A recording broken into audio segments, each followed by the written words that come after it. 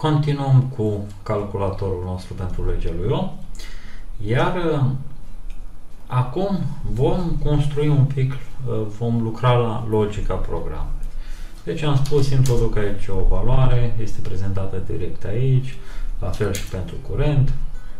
Încă curentul nu este uh, legat aici, dar asta o să facem acum. Și vreau să uh, calculez uh, valoarea care lipsește dacă apăsăm pe un buton. Asta înseamnă că voi introduce aici de desubt încă un buton, voi introduce în componentă încă un div cu clasa form group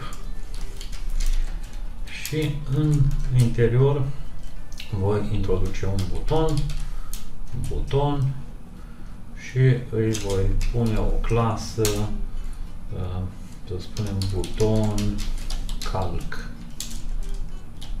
calc de la calculator. Da? Și închidem butonul și scrie aici cal cu calculează. Am pus și litera E și când apăs pe acest buton va trebui să-mi calculeze valorile. Dar mai întâi voi face un pic de style pentru acest uh, buton. Și voi scrie aici uh, clasa care am spus că se numește, cum am spus, buton calc și prima dată voi face butonul display inline block apoi uh, color black.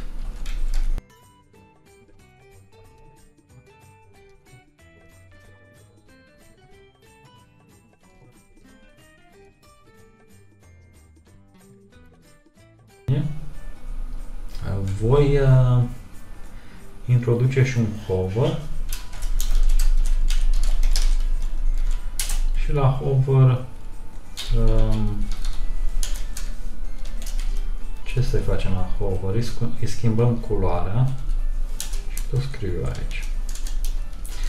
Îi schimbăm culoarea, background-ul și am să folosesc același galben, dar am să-l întunec uh, un pic.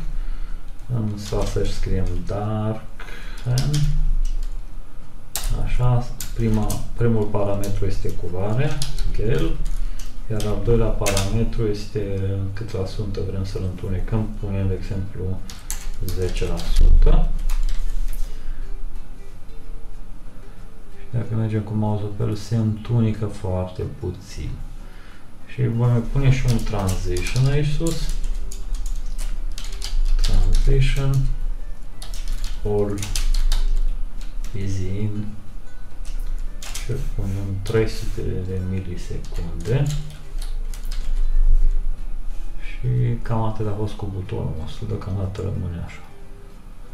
Aș putea să fac un pic mai întunecat, 15%.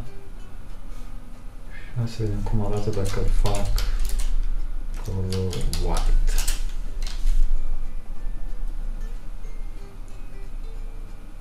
Nu arată rău. Lăsăm așa deocamdată. deocamdată.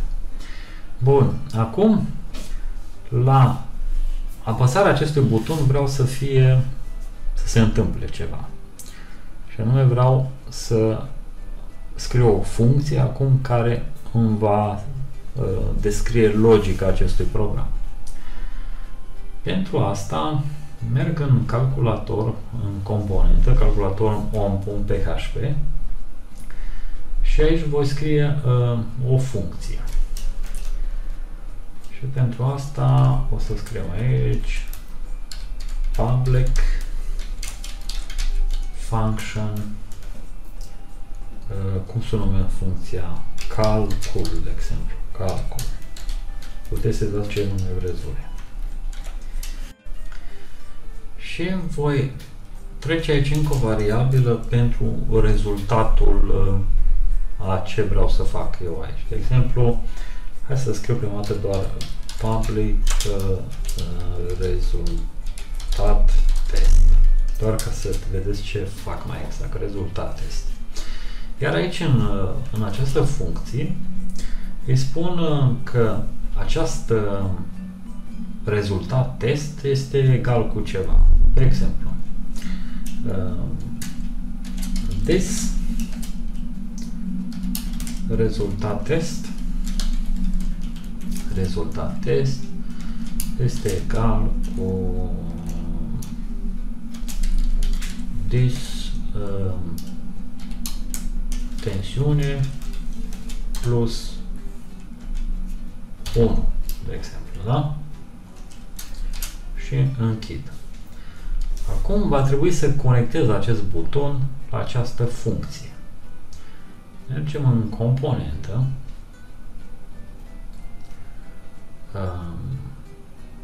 Voi trece aici variabila pentru rezultat, adică asta care am scris eu aici. o trec aici, de desubt introduc un break și o trec pur și simplu aici. Deocamdată nu vedem mai nimic. Numai dacă scriu 10 va apărea 10 aici. Iar acum mă duc la buton aici și există de asemenea o metodă cu care legăm butonul de această funcție și zic wire by click, deci wire click și următorul parametru este numele funcției, care am zis că se numește uh, calcul. Aici. Calcul. Iar acum, încar pagina din nou, dacă introduc aici 10 și apăs pe calculează, va apărea aici 11, pentru că am zis distensiune plus 1, da? Și avem 11. Dacă fac 18, avem 19 și așa mai departe. Și este calculat, este, funcția este destul de simplă, da? Ați văzut doar cu câteva linii de cod. Acum, hai să ne gândim să vedem cum facem aici toată această funcție. Pentru că aici trebuie să facem mai multe calcule. Asta o șterg deocamdată și va trebui prima dată să fac o legătură uh, și la um, aici, la rezistență și la curent. Da? Deci folosim wire model wire model uh, ăsta este pentru curent și avem aici încă un wire model pentru rezistență. Asta înseamnă că acum avem aici toate cele trei valori uh, curent și rezistență.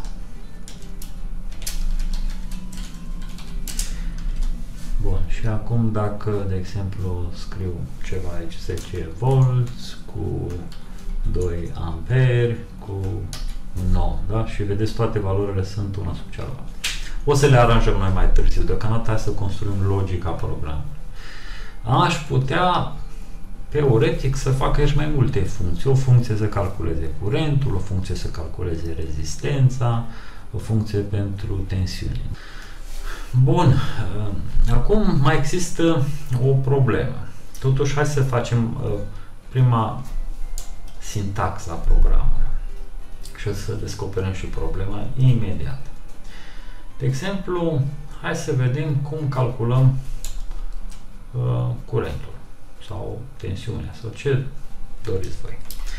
Voi scrie aici o variabilă pentru rezultat R, de exemplu. Public 4 uh, uh, pardon, pardon, pardon, pardon. Public rezultat R. Bun. Asta este rezultatul pentru rezistență. De asemenea, fac una și pentru uh, tensiune U și și una pentru curent. Și valorile astea le putem folosi în scopuri creative apoi. Um, voi scriem aici prima dată pentru rezultat R, adică să aflăm rezistența. This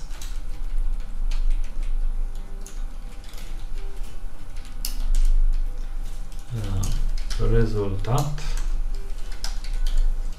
rezultat R este egal cu uh, distensiune tensiune împărțit la dis curent. Bun. Asta înseamnă că mergem aici în program, aici, și voi introduce aici un, o linie, doar ca să separăm și să vedeți ce se întâmplă. Introduc aici un text și am să trec uh, rezultat uh, rezultat R.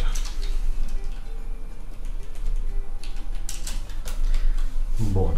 Asta înseamnă dacă iau 10 volți cu 1 amper și apăs calculează, avem uh, 10 ohm. Da? Dar acum vreau să vedeți ceva. De fapt încarc pagina din nou. Și dacă apăs acum pe calculează, fără să introduc o valoare acolo, zice division by 0. Division by 0 error. Dar nu poate să fac el calculul ăsta și este și normal. Va trebui să introducem o validare, să verifice înainte dacă există vreo problemă sau nu. Um, și bineînțeles, probabil să și uh, anunțe utilizatorul uh, într-un fel, bă, vezi că ai uitat să treci o valoare sau ai făcut ceva greșit.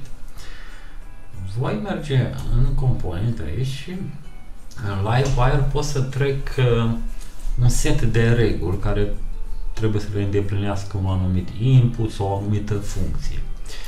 Uh, de exemplu, protected, așa o numim aici, rules și aici voi trece câteva reguli. De exemplu, trec cu o regulă pentru tensiune. Tensiune și aici îi spun ce vreau să fie. De exemplu, să fie un număr numeric. Să fie uh, să nu fie 0. Not in 0. Și de exemplu, la fel putem să facem și pentru curent. Și pentru curent. La fel lăsăm deocamdată așa. Și acum, bineînțeles, dacă aplic din nou calculează, apare aceeași eroare, deoarece funcția nu știe că am introdus ceva reguli aici, deci trebuie să anunț funcția într-un fel, să-i spun, fii atent, verifică aceste reguli dacă sunt ok. Și dacă merg la funcție, în interiorul funcției îi spun, fii atent, ia verifică tu regulile de aici. Și asta o facem foarte simplu. Dacă scriem aici, this și zicem validate, this validate. Iar acum, dacă de exemplu apăs calculează, nu se mai întâmplă nimic, nu mai apare eroarea. Dacă comentez asta și apăs calculează, de fapt, da, a mers. Division by 0, apare eroare. Așa introducem această validare și nu mai apare. Totuși, vreau să introduc uh, sub fiecare formular și o metodă prin care îi spun userul, fii atent, uh, ceva nu este în ordine aici. Da? Uh, va trebui să merg în componente aici și la fiecare input de desubt voi scrie o un mesaj. Și este destul să scriu, uh, să facem asta așa un pic mai mare, este destul să scriu aici error, iar la uh, error îi spun ce, pentru ce este această eroare, pentru tensiune, da? pentru acest input. Și zicem aici tensiune, fără dolar, și aici în interiorul funcției va trebui să scriu și uh, and error, and error, iar aici pot să, pot să scriu în interior pur și simplu uh, uh, HTML. Fac aici un span și uh, îi pun o clasă, cred că am o clasă deja definită, class error. Da, cred că este în Tailwind, class error. Și aici vine variabila pentru mesajul de eroare care se numește message și la fel pot să copiez această linie de cod și să o introduc la fiecare input. Odată aici pentru curent și odată pentru rezistență. Rezistență. Aici. Și vedeți, dacă apăs calculează, scrie aici the tensiune must be a number. The current must be a number. Uh, dacă scriu doar aici ceva și apăs calculează, apare eroarea doar aici. Acum, aceste texte sunt în engleză. The tensiune must be a number nu prea sună frumos, nu? Și aș putea aici să scriu ceva așa funny. Hei, domnul om a spus că îți lipsește ceva, nu? o să schimbăm asta. Dar mai întâi vreau să mai introduc de fapt aici o regulă. Uh, prima dată am zis că voi, voi folosi un if-else pentru, pentru numere și anume uh, vreau ca numărul care îl introduce utilizatorul în acest input să fie tot timpul mai mare ca 0.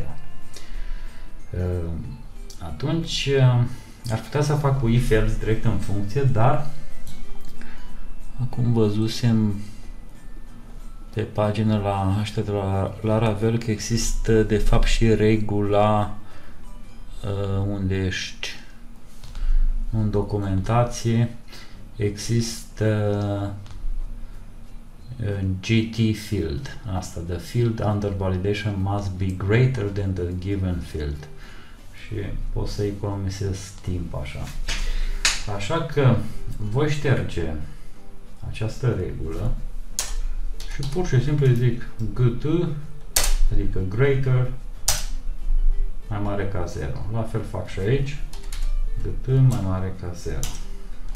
Acum, ă, deci dacă apăs calculează, dă tensiune must be a number, așa, dacă introduc totuși aici 0 și aici 0, o să apară de tensiune must be greater than 0. Dacă introducem, de exemplu, 0.001 calculează, numai aici avem. Așa, calculează și vedeți acum este perfect. Deci rămâne așa. Um, bun, cum schimbăm aceste texte?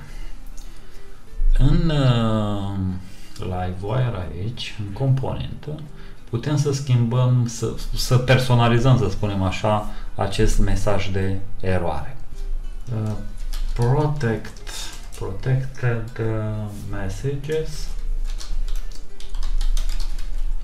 protected messages este egal și aici un array cu ce vrem noi să facem. De exemplu, o să scriem acum un text de eroare pentru um, tensiune și pentru care regulă? Pentru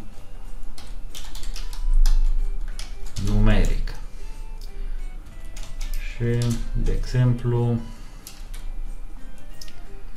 aici voi scrie ceva.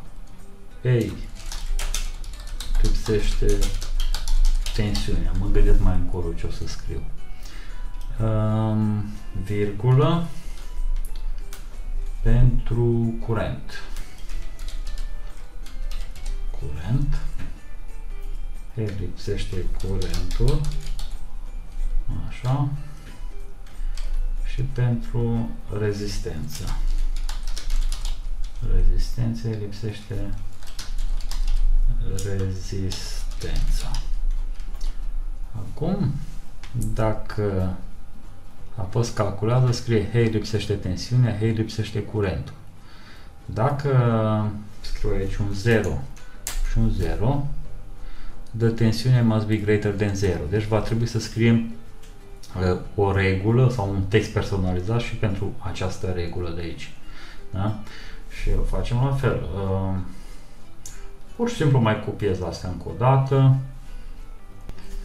Și am pus și aici trei reguli. Tensiunea trebuie să fie mai mare ca 0, curentul trebuie să fie mai mare ca 0 și rezistența trebuie să fie mai mare ca 0.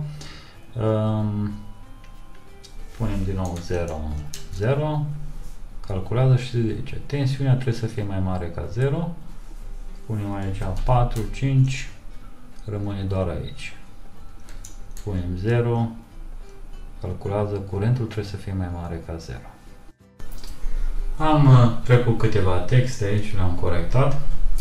Um, acum dacă apăs calculează, scrie George Simon Om a spus că ai uitat să introduci valoarea tensiunii, că ai uitat să introduci valoarea curentului, uh, iar dacă, de exemplu, pun 0, atunci scrie tensiunea trebuie să fie mai mare ca 0 și aș putea să pun și un semnul uh, exclamării. Da, în fine, asta o mai putem modifica pe parcurs. Acum să ne ocupăm și aici de, de rezistență. Um, mergem